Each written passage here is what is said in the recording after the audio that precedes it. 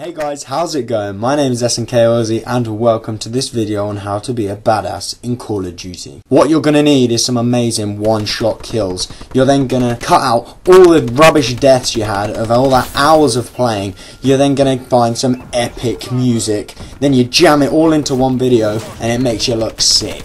Almost just like I have.